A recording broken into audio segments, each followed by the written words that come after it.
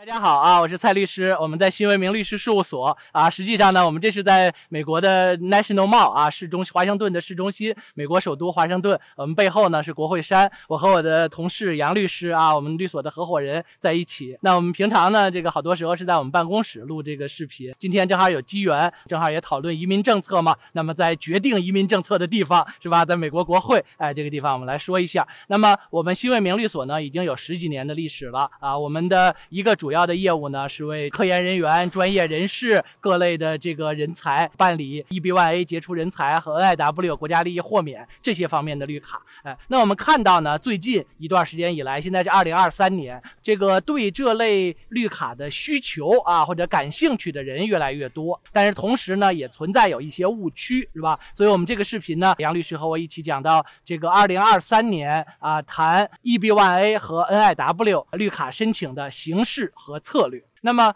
刚才提到呢，好多地方有的时候有一些这个误区，对吧？现在很多人想办呃 EB-1A-NIW，但是呢，也有存在有这个呃提供服务的这方面鱼龙混杂啊这种这个问题。有的人说啊 EB-1A 是一个捷径啊，很方便，对吧？原来没有办过的人都在办，哎，说或者说你办不了 EB-1A，至少你能办 NIW，哎，那么杨律师你的看法是怎样的？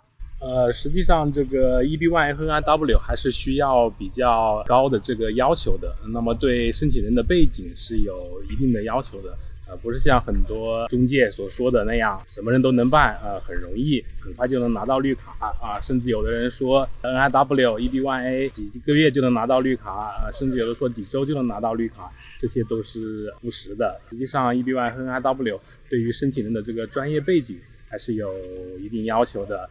啊，比方说科研人员、艺术家，在商业上有一些成就的商人，这样的人可以获得批准。好的，谢谢杨律师。哎，是的。那么我们看到好多现在，因为大家都在找这个办美国移民啊绿卡的出路，对吧？那有的人呢觉得说我这个申请好像说看起来字面上符合条件，那就可以上。哎，实际上不是这么简单。字面上符合 EB-1A 的三条条件，或者 NIW 的 Three Prongs，这个呢是必要条件，就不一定是充分条件，因为总有一些呢它是主观的 （subjective） 的啊，这样来决定。所以呢，呃，这个申请还是呃需要找专业的人士来办。比如有的律所。呢，可能原来是办别的类型的，只是现在看到说这个市场好，所以就跳进这个市场里来。呃，我前面提到呢，我们新卫明律所杨律师和我呢，律所已经有十几年的专门办理 EBYANIW 这方面的专业经验。那么另外一个误区呢，也有的，比如说在中国的教授啊、科研人员、专家，或者在美国的博士等等啊，说，哎呀，听说这个绿卡特别难办，好像也很很难有机会等等啊，那他就呃被吓倒了，对吧？说，哎呀，美国绿卡没有希望啊，我这个还。是退而求其次，我办瓦努阿图、格林纳达啊这些地方的身份算了，对吧？呃，那么这一点，杨律师你是怎么看的？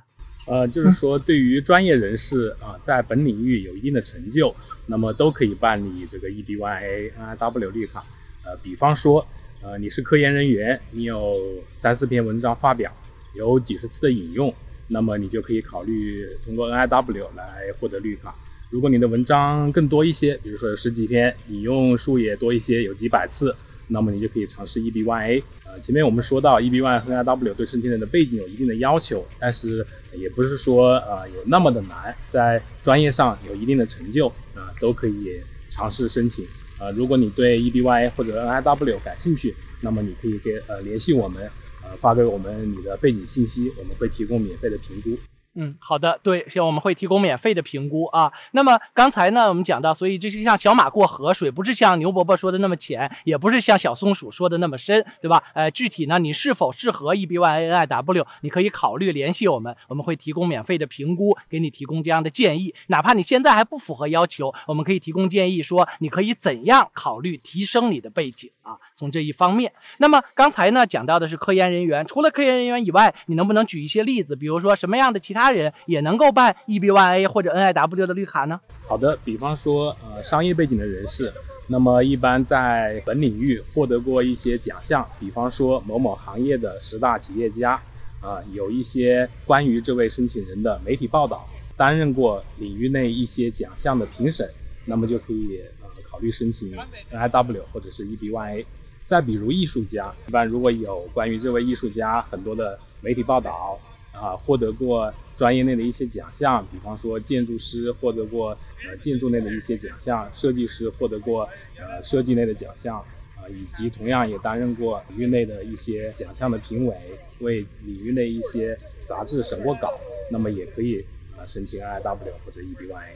嗯。对，谢谢。那么最后呢，呃，再讲一下，对吧？我们说的不能光是纸上谈兵。另外呢，我们为数千位的学者呀、专业人士啊，来自中国大陆的，现在还住在中国的，呃，以及呃，在美国、在其他国家的，呃，这些申请人取得了批准。那么还有我们自己的亲身经验，对吧？我自己呢是在马里兰大学上学的时候，在 PhD 毕业前提交 NIW，然后呢获得批准，后来拿到绿卡的。那杨律师，你的情况呢？呃，我是在做博后期间通过 EB1A 获得的绿卡。那你看，杨律师和我呢，我们都有通过 E B Y A N I W 取得美国绿卡的亲身经验。然后呢，我们也有中国、美国名校毕业的背景，有科研经历、PhD 学位和博士后的这样的经验。所以呢，我们认为可以给申请人提供更好的帮助，取得 E B Y A 和 N I W 批准。如果有这方面的问题，欢迎联系新为名律所。谢谢。